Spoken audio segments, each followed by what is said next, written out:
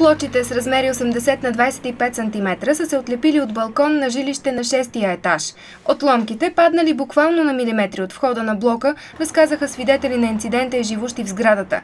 Те са реагирали светкавично на ситуацията, като са оградили пространството, за да предпазят минувачите от инциденти. Истинско чудо е, че по време на инцидента тук не е имало хора. Мястото е оживено през целия ден. Играят деца и преминават слепи граждани, тъй като в непосредствена близост се намира офисът на регионалната организация на Съюза на слепите хора в България. Проблем не е само на нашия вход, на блока, а предполагаме на много други блокове в Русия. И ми се струва, че не е решението само на живущите в този вход или само в този блок, а ми се струва, че общината е редно да направи едно, как да кажа, едно предвиждане Какви са тия блокови, колко са на брой в Русия, които са застрашени и би могло да се случи, не дай си Боже, посред бял ден и да удари някого нещо по главата.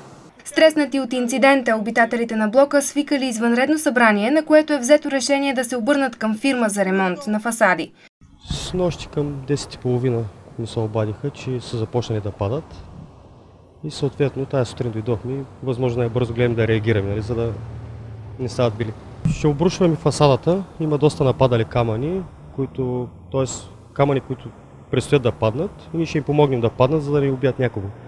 Поради лошите атмосферни условия, алпинистите бяха възпрепятствани в отстраняването на останалите опасни плочи, но гарантираха, че ще го направят веднага, щом дъждът спре.